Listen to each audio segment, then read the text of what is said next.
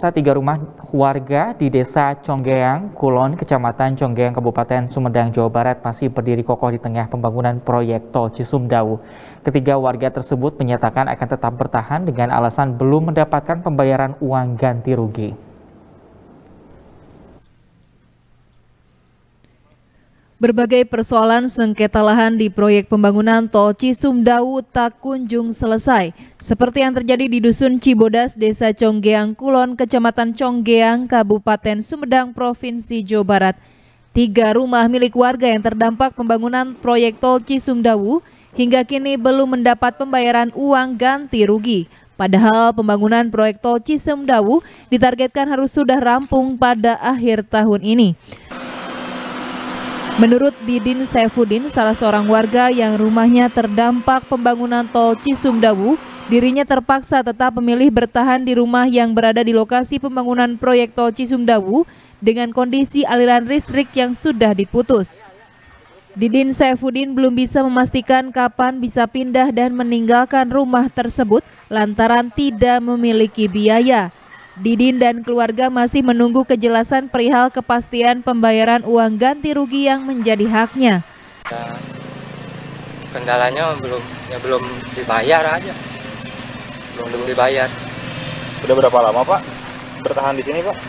Ya mulai berjalan aja ini mulai berjalan. Datang bekok, datang alat-alat. Rencananya kapan mau pindahan Pak? Gak tahu dah, nggak ada uangnya mau pindah ke mana. Katanya kapan dibayarnya Pak? Belum ada belum, ada informasi.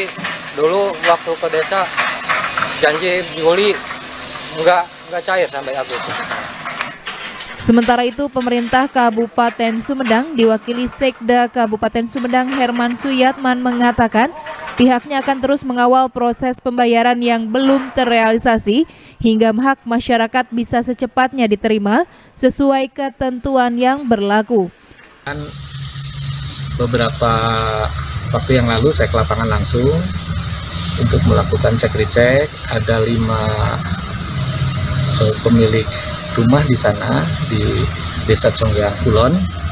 Termasuk eh, apa namanya eh, lokasi yang dibebaskan untuk pembangunan jalan tol.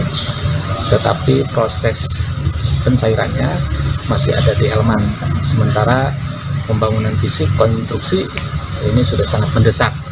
Oleh karena itu kita minta izin kepada warga masyarakat eh, lima rumah kita kumpulkan di desa komitmennya adalah masyarakat yang pemilik lima rumah ini mengizinkan untuk dimulai pembangunan konstruksi namun demikian mereka minta kepastian dan minta akselerasi untuk pencairan Warga berharap pembayaran uang ganti rugi yang menjadi haknya segera dibayarkan agar bisa mencari tempat tinggal yang baru serta bisa beraktivitas seperti semula. Warga saat ini diselimuti rasa khawatir dan takut karena harus bertahan di tengah proyek dengan alat berat yang sangat mengganggu. Diki Guntara, Bandung TV.